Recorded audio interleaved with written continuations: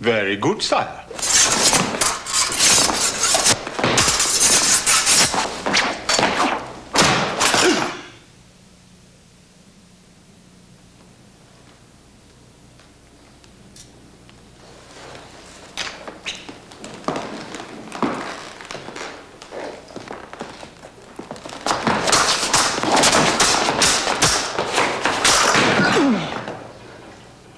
Very good, sire.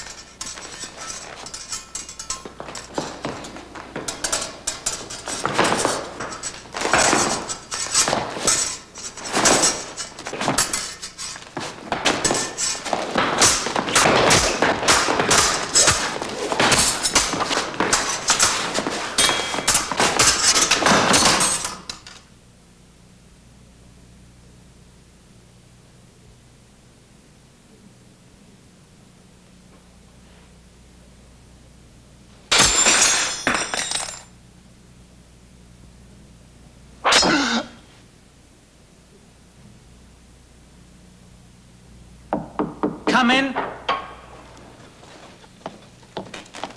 Sire, Tsar Peter asks to meet you alone on neutral ground.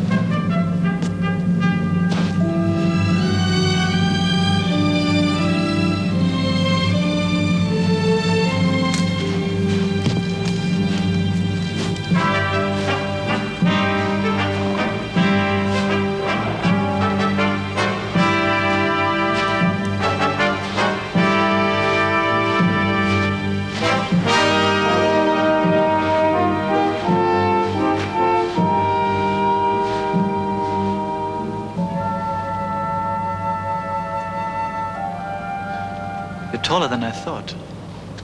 You are younger.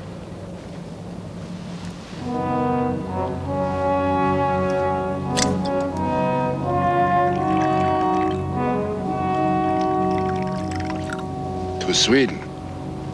To Russia.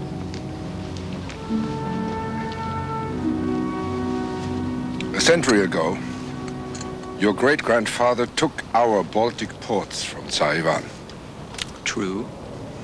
But then he made no effort to defend them. because they weren't of value to him. We had no ocean going ships then, and the idea of trade with the West was beyond his imagination. It's not beyond yours, is it? Russia cannot flourish isolated and without trade. True. I ask for this meeting because I want to negotiate the sharing of the ports with you. We are prepared to pay extravagantly. Are you? What for? to Become allies and trading partners.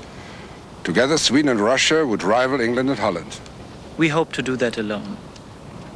We do not need any allies. It is my duty as a sovereign to dominate as it is yours. One of us will not survive if we go to war with this. And now you're spoiling all the fun, Peter. War is the real sport of kings. It keeps them and their subjects fit and vigorous. It winnows the weak and strengthens the bloodlines. To what end? So that we can fight again. Exactly. It's a never ending process. Do you want to deprive man of what he loves best? Then you leave us no choice but to take the ports by force. Aren't you afraid we will attack first? But as you ride to battle, can you sleep in a saddle as Russians do?